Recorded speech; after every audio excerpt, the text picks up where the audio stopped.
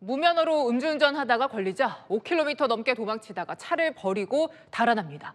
이 남성은 친구 집 등을 전전하다가 일주일 만에 자수했습니다. 이세하 기자입니다. 허겁지겁 순찰차에 올라타는 경찰관들. 아슬아슬하게 차선을 바꾸며 검정색 승용차를 따라갑니다.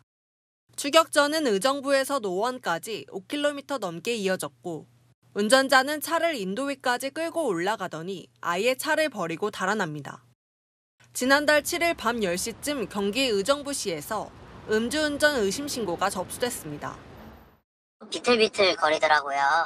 가면 갈수록 점점 의심이 들어서 이제 신고를 하게 됐는데 경찰이 차를 발견해 음주 측정을 하려 하자 운전자가 급가속하며 그대로 달아난 겁니다.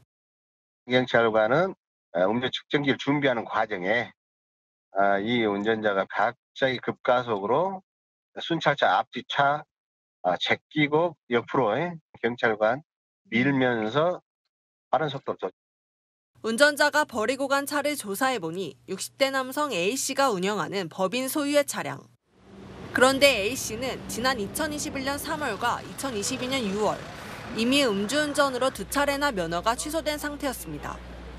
법인차를 이용하면 과속카메라 등에 적발돼도 운전자가 누구인지 모른다는 점을 노리고 무면허 상태로 차를 몰고 다닌 겁니다. 차를 버리고 도망갔던 A씨는 친구 집 등을 전전하다 경찰이 차 소유주 추적에 나서자 일주일 만에 자수했습니다.